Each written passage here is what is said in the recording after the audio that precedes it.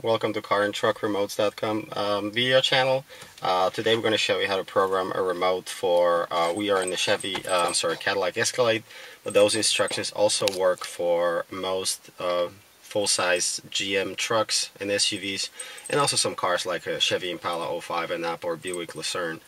Um, so, alright, so it's, it's actually very easy. We have um, one remote that's programmed and um, a couple of remotes that do not work right now. So, um, all you have to do is to switch the ignition to on position, and then you have to press repeatedly um, the, the button right here.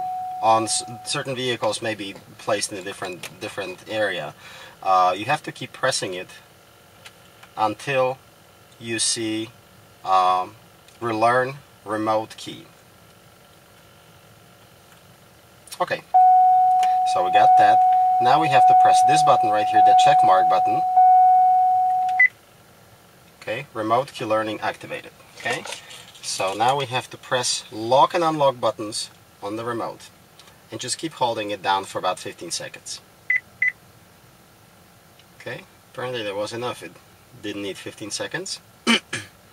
Okay, now we have to do the same thing with the existing remote to set off synchronize.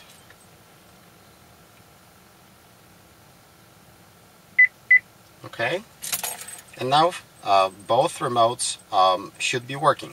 So we switch the ignition off to exit programming mode. And let's see if it works. okay, and now this remote. That's it. Now both remotes are programmed. So as you see, it's very easy.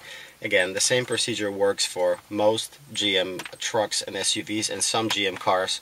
All you have to do is just utilize the information center, uh, which is located either here, somewhere here, or on the other side for some cars.